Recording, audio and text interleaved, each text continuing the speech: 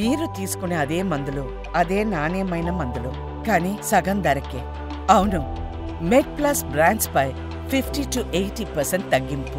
So BP ఎక్కువ ఉన్నవారు సాధారణంగా మాత్రలు వాడడం సహజము అది రెగ్యులర్గా వాడుతూ ఉంటారు. సో వాళ్ళు బాగున్నప్పుడు కొన్ని రోజులు వాడకుండా వాయిదా వేస్తుంటారు. సో ఇది ఏమన్నా ప్రమాదానికి కారణం అవుతుందా సో అది ఎలా అవుతుందంటే మనకు ఒక్కొక్కసారి బీపీ టాబ్లెట్స్ వేసుకుంటూ చెక్ చేసుకుంటారు అప్పుడు నార్మల్గా అనిపిస్తుంది Hmm. సో వాళ్ళు అనుకుంటారు నాకు బీపీ నార్మల్ గానే ఉంది సో నేను అసలు వేసుకోవాల్సిన అవసరం లేదు అని Hmm. మానేసిన కొద్ది రోజులకి మళ్ళీ అది ఎప్పుడు షూటప్ అవుతుందో మనం చెప్పలేం అలా ఒక్కసారిగా బీపీ షూటప్ అయినప్పుడు బ్రెయిన్లో హెమరేజ్ అవ్వడం గానీ Hmm. లేకపోతే హార్ట్కి హార్ట్ అటాక్ లాంటివి రావడం గానీ గమనిస్తూ ఉంటాం అనమాట Hmm. సో అందుకని రెగ్యులర్ చెకప్ చేసుకుంటూ దాన్ని తగిన మోతాదులో వాడడం అనేది చాలా అవసరం.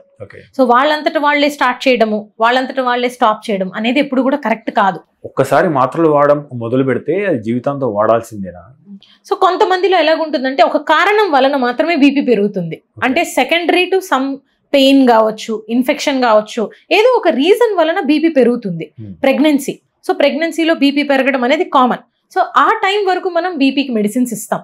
అయిపోయిన తర్వాతన డాక్టర్స్ మానిటర్ చేస్తూ సో ఇప్పుడు అది కాజ్ రివర్స్ అయిందా లేదా?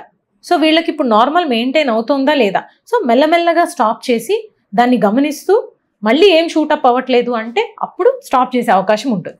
సో కొంతమందిలో ఏంటంటే లైఫ్ స్టైల్ మోడిఫికేషన్స్ చేసిన తర్వాత కూడా రివర్సల్ మెకానిజమ్స్ అనేది ఉంటాయి. So hypertension diabetes border లైన్లో ఉన్న వాళ్ళు వెంబడే ట్రీట్మెంట్ స్టార్ట్ చేయడం అనేది ఒక పద్ధతి. చాలా మటుకు మా గైడ్ లైన్స్లో ఏం చెప్తారంటే ఫస్ట్ లైఫ్ స్టైల్ మాడిఫై చేయడానికి వాళ్ళకు ఒక అవకాశం ఇచ్చి చూడాలి.